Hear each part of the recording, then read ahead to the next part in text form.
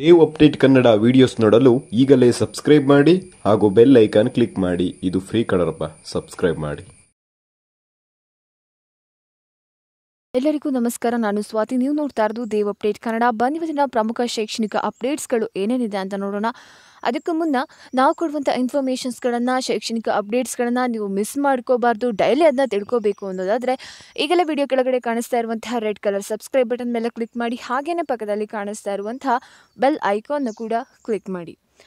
So ರಾಜ್ಯದಲ್ಲಿ ನಮ್ಮ ಶಾಲಾ ಕಾಲೇಜುಗಳು ಏನಿರ್ಬೋದು, ಅದೆಲ್ಲ ಕೂಡ ಪ್ರಾರಂಭವಾಗಿದೆ.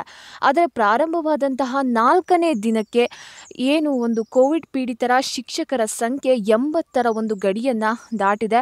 ಇದು ಪೋಷಕರಲ್ಲಿ ಆಗಿರಬಹುದು, ಮತ್ತು ಮಕ್ಕಳಲ್ಲಿ ಆಗಿರ್ಬೋದು, ಹಾಗೆಯೇ ಶಿಕ್ಷಕರಲ್ಲಿ ಆಗಿರ್ಬೋದು, ಒಂದು ತೀವ್ರವಾದಂತಹ ಆತಂಕವನ್ನು ಮೂಡಿಸಿದೆ ಅಂತಲೇ ಹೇಳ್ಬೋದು.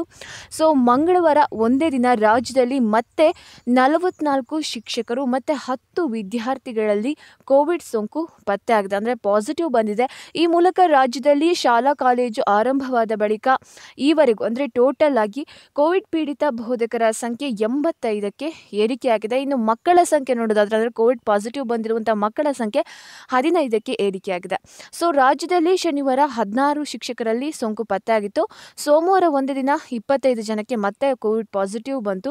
ಸೊ ಇದೀಗ ಮತ್ತೆ ನಲವತ್ನಾಲ್ಕು ಜನ ಶಿಕ್ಷಕರಲ್ಲಿ ಈ ಸೋಂಕು ಪಾಸಿಟಿವ್ ಆಗಿ ಬಂದಿದೆ. ಸೊ ಇದು ತುಂಬಾ ಆತಂಕವನ್ನು ಮೂಡಿಸ್ತಾ ಇದೆ.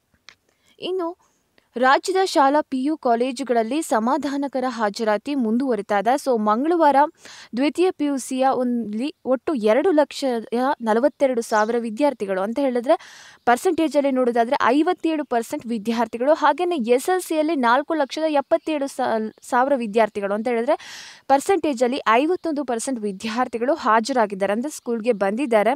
ವಿದ್ಯಾಗಮ ಯೋಜನೆಯಡಿ ಶಿಕ್ಷಣ ಪಡೆಯಲು ಆರು ಲಕ್ಷದ ಮೂವತ್ತು ಸಾವಿರ ವಿದ್ಯಾರ್ಥಿಗಳು ಅದಕ್ಕಿಂತಲೂ ಹೆಚ್ಚಿನ ವಿದ್ಯಾರ್ಥಿಗಳು ವಿದ್ಯಾಗಮ ಯೋಜನೆಯಡಿ ಶಿಕ್ಷಣವನ್ನು ಪಡೆಯಲು ಹಾಜರಾಗಿದ್ದಾರೆ ಅನ್ನುವಂತಹ ಒಂದು ಮಾಹಿತಿ ಬಂದಿದೆ.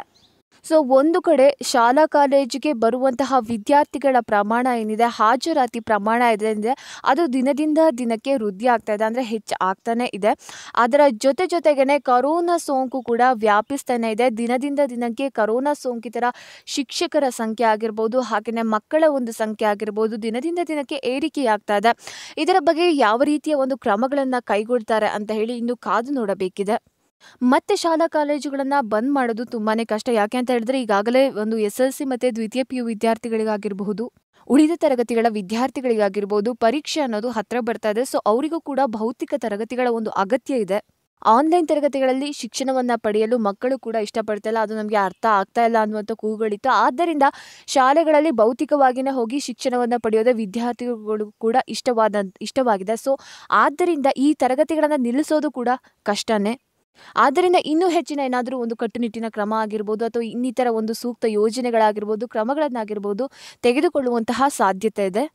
ಇನ್ನು ಜನವರಿ ಆರನೇ ತಾರೀಕು ಅಂತ ಹೇಳಿದ್ರೆ ಇಂದು ಇವತ್ತು ಎಸ್ ಎಲ್ ಸಿ ವಿದ್ಯಾರ್ಥಿಗಳಿಗೆ ಎಷ್ಟು ಪರ್ಸೆಂಟೇಜ್ನಲ್ಲಿ ಒಂದು ಸಿಲೆಬಸ್ನ ರೆಡ್ಯೂಸ್ ಮಾಡಲಾಗುತ್ತೆ, ಎಷ್ಟು ಪರ್ಸೆಂಟೇಜ್ ಸಿಲೆಬಸ್ನ ರೆಡ್ಯೂಸ್ ಮಾಡಲಾಗುತ್ತೆ, ಹಾಗೆಯೇ ಎಷ್ಟು ಪರ್ಸೆಂಟೇಜ್ನ ಪರೀಕ್ಷೆಗೆ ಅಂತ ಹೇಳಿ ಉಳಿಸಿಕೊಳ್ಳಲಾಗುತ್ತೆ ಅನ್ನುವಂಥ ಒಂದು ನಿರ್ಧಾರವನ್ನು, ಒಂದು ಮಾಹಿತಿಯನ್ನು ಇವತ್ತು ಬಹಿರಂಗಪಡಿಸುವಂತಹ ಸಾಧ್ಯತೆ ಇದೆ ಅಂತ ಹೇಳಲಾಗ್ತಾ ಇದೆ. ಈಗಾಗಲೇ ದ್ವಿತೀಯ ಪಿ ಯು ಸಿ ವಿದ್ಯಾರ್ಥಿಗಳಿಗೆ ಈ ಸಿಲೆಬಸ್ ರೆಡ್ಯೂಸ್ನ ಬಗ್ಗೆ ಸಂಪೂರ್ಣವಾದ ಮಾಹಿತಿಯನ್ನು ಕೊಟ್ಟಿದ್ದಾರೆ. ಅದೇ ರೀತಿಯಾಗಿ ಎಸ್ ಎಲ್ ಸಿ ವಿದ್ಯಾರ್ಥಿಗಳು ಕೂಡ ಸಿಲೆಬಸ್ನ ರೆಡ್ಯೂಸ್ ಮಾಡ್ತೀವಿ ಅಂತ ಹೇಳಿದರು. ಸೊ ಅದಕ್ಕಾಗಿ ಇವತ್ತು ಹೆಚ್ಚಿನ ಒಂದು ಸಾಧ್ಯತೆ ಇದೆ ಅವರ ಒಂದು ಸಿಲೆಬಸ್ನ ಕುರಿತಾಗಿ ಮಾಹಿತಿಯನ್ನು ನೀಡುವಂತಹ ಸಾಧ್ಯತೆ ತುಂಬಾ ಹೆಚ್ಚಾಗಿದೆ. ಸೊ ಸಿಲೆಬಸ್ ರೆಡ್ಯೂಸ್ ಕುರಿತು ಯಾವುದೇ ರೀತಿಯಾದಂತಹ ಮಾಹಿತಿ ಬಂದರೂ ನಾವು ನಿಮಗೆ ತಕ್ಷಣವಾಗಿಯೇ ತಿಳಿಸಿಕೊಡ್ತೀವಿ. ಅದಕ್ಕಾಗಿ ನೀವು ಮಾಡಬೇಕಾಗಿರೋದಿಷ್ಟೇ ಈಗಲೇ ನಮ್ಮ ಚಾನಲ್ನ ಸಬ್ಸ್ಕ್ರೈಬರ್ ಆಗಿಲ್ಲ ಅಂದರೆ ದಯವಿಟ್ಟು ವಿಡಿಯೋ ಕೆಳಗಡೆ ಕಾಣಿಸ್ತಾ ಇರುವಂಥ ರೆಡ್ ಕಲರ್ ಸಬ್ಸ್ಕ್ರೈಬ್ ಬಟನ್ ಮೇಲೆ ಕ್ಲಿಕ್ ಮಾಡಿ ಹಾಗೆಯೇ ಪಕ್ಕದಲ್ಲಿರುವಂಥ ಬೆಲ್ ಐಕಾನ ಕೂಡ ಕ್ಲಿಕ್ ಮಾಡಿ. ಇದರಿಂದ ನಾವು ಯಾವುದೇ ವಿಡಿಯೋನ ಪೋಸ್ಟ್ ಮಾಡಿದ್ರೂ ಕೂಡ ನಿಮಗೆ ತಕ್ಷಣವಾಗಿನ ನೋಟಿಫಿಕೇಶನ್ ಸಿಗುತ್ತೆ. Dhanya city two thousand twenty one twenty ಟೂಗೆ prepare ಆಗ್ತಾ ಇರುವಂತಹ ಎಲ್ಲ ಸ್ಟೂಡೆಂಟ್ಸ್ಗಳಿಗೆ ಇಂಡಿಯಾದ ಅತ್ಯುತ್ತಮ ಲರ್ನಿಂಗ್ ಪ್ಲಾಟ್ಫಾರ್ಮ್ ಆಗಿರುವಂತಹ ಅನ್ ಅಕಾಡೆಮಿ ಕಡೆಯಿಂದ ಒಂದು ಬೆಸ್ಟ್ ಲರ್ನಿಂಗ್ ಆಪರ್ಚುನಿಟೀಸ್ಗಳನ್ನು ಕೊಡ್ತಾ ಇದ್ದಾರೆ. ಸೊ ನೀವು ಕೂಡ ಈ ಬೆನಿಫಿಟ್ಸ್ಗಳನ್ನು ಪಡ್ಕೋಬಹುದು ಸೊ ಅನ್ ಅಕಾಡೆಮಿಯಲ್ಲಿ ಬ್ಯಾಚ್ಗಳನ್ನು ಲಾಂಚ್ ಮಾಡ್ತಾ ಇರ್ತಾರೆ. ಹಲವು ರೀತಿಯಾದಂಥ ಬ್ಯಾಚಸ್ಗಳನ್ನು ಸೊ ಇವಾಗ ಜನವರಿ ಹನ್ನೊಂದನೇ ತಾರೀಕಿನಿಂದ ಮತ್ತೆ ಒಂದು ಹೊಸ ಬ್ಯಾಚ್ನ ಲಾಂಚ್ ಮಾಡ್ತಾ ಇದ್ದಾರೆ. ಆ ಬ್ಯಾಚ್ ಬಂದುಬಿಟ್ಟು ಕನ್ನಡ ಬ್ಯಾಚ್ ಅಂತ ಹೇಳಿ ಇದು K S C T two ಸ್ಟೂಡೆಂಟ್ಸ್ಗಳು ಯಾರು ಇರ್ತಾರೆ ಅವರಿಗಾಗಿ ಮಾಡ್ತಾ ಇರೋದು. ಸೊ ಈ ಒಂದು ಬ್ಯಾಚ್ಗೆ ನೀವು ಜಾಯ್ನ್ ಆಗೋದ್ರಿಂದ ಇಂಡಿಯಾದ ಟಾಪ್ ಎಜುಕೇಟರ್ಸ್ಗಳ ಕಡೆಯಿಂದ ನೀವು ಟೀಚಿಂಗನ್ನು ಪಡ್ಕೋಬೋದು. ಅದು ಯಾರ್ಯಾರು ಅಂತ ನೀವು ಸ್ಕ್ರೀನ್ ಮೇಲೆ ನೋಡ್ತಾ ಇರ್ಬೋದು. Satish T S Bhavani M P ಅವರಾಗಿರ್ಬೋದು D'Souza ಹಾಗೆಯೇ ಮುರಳಿ ಪಿ ಜಿ ಅವರು, ಇವರೆಲ್ಲರೂ ಕೂಡ ಇಂಡಿಯಾದ ಟಾಪ್ ಬೆಸ್ಟ್ ಎಜುಕೇಟರ್ಸ್ಗಳಾಗಿದ್ದಾರೆ. ಇವರ ಕಡೆಯಿಂದ ನೀವು ಟೀಚಿಂಗನ್ನು ಕೂಡ ಪಡ್ಕೋಬಹುದು. ಹಾಗೆಯೇ ಇನ್ನೂ ಹೆಚ್ಚಿನ ಬೆನಿಫಿಟ್ಸ್ಗಳನ್ನು ಕೂಡ ನೀವು ಪಡ್ಕೋಬೋದಾಗಿದೆ ಸೊ ಅನ್ ಅಕಾಡೆಮಿಯಲ್ಲಿ ನೀವು ಬ್ಯಾಚ್ಗೆ ಜಾಯ್ನ್ ಆಗಬೇಕು ಅಂದರೆ ಸಬ್ಸ್ಕ್ರಿಪ್ಷನ್ ತಗೋಬೇಕು. ಸೊ, ಬೇರೆ ಎಲ್ಲ ಕಡೆ ಕೆ ಸಿ ಟಿ ಕೋಚಿಂಗ್ಗೆ ಎಷ್ಟು ಅಮೌಂಟ್ನ ಇಟ್ಟಿರ್ತಾರೋ ಅದಕ್ಕಿಂತ ತುಂಬಾ ಕಡಿಮೆ ಅಮೌಂಟು ನೀವು ಇಲ್ಲಿ ಪೇ ಮಾಡಬೇಕಾಗುತ್ತೆ. ಅದು ಅಲ್ಲೇ ನಮ್ಮ ಕೋಡ್ ಆಗಿರುವಂಥ ದೇವ್ ಅಪ್ಡೇಟ್ನ ನೀವು ಬಳಸೋದ್ರಿಂದಾಗಿ ನಿಮಗೆ ಇಲ್ಲಿ ಆಕರ್ಷಕವಾಗಿ ಹತ್ತು ಪರ್ಸೆಂಟ್ ಡಿಸ್ಕೌಂಟ್ ಕೂಡ ಆ ಅಮೌಂಟ್ನಲ್ಲಿ ಸಿಗುತ್ತೆ. ಸೊ ಹನ್ನೆರಡು ತಿಂಗಳ ಒಂದು ಪ್ಲಾನ್ ಇರುತ್ತೆ, ಆರು ತಿಂಗಳ ಒಂದು ಪ್ಲಾನ್ ಇರುತ್ತೆ, ಒಂದು ಮಂತ್ನ ಒಂದು ಪ್ಲಾನ್ ಕೂಡ ಇರುತ್ತೆ. ನೀವು ಯಾವ್ದನ್ನ ಬೇಕಿದ್ರೂ ಸೆಲೆಕ್ಟ್ ಮಾಡ್ಕೋಬೋದು. ಎಲ್ಲದಕ್ಕೂ ಕೂಡ ಹತ್ತು ಪರ್ಸೆಂಟ್ ಡಿಸ್ಕೌಂಟ್ ಒಂದು ಅಪ್ಲೈ ಆಗುತ್ತೆ. ಅದು ನೀವು ನಮ್ಮ ಕೋಡ್ ಆಗಿರುವಂಥ ದೇವ್ ಅಪ್ಡೇಟ್ನ ಬಳಸಬೇಕು.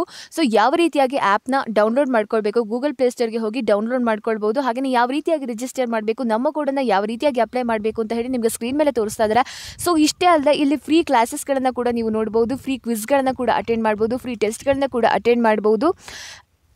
ಇದಕ್ಕೆ ನೀವು ಯಾವುದೇ ರೀತಿಯಾದಂತಹ ಅಮೌಂಟ್ನ ಪೇ ಮಾಡುವಂಥ ಅವಶ್ಯಕತೆ ಇಲ್ಲದಿಲ್ಲ, ಇದೆಲ್ಲ ಕೂಡ ಫ್ರೀ ಆಗಿರುತ್ತೆ. ಸೊ ಈಗಲೇ ಹೋಗಿ ಅನ್ ಅಕಾಡೆಮಿಗೆ ಎನ್ರೋಲ್ ಆಗಿ ಕೆ ಸಿ ಟಿ ಎಕ್ಸಾಮ್ಸ್ಗಳನ್ನ ಈಸಿಯಾಗಿ ಕ್ರ್ಯಾಕ್ ಮಾಡಿ.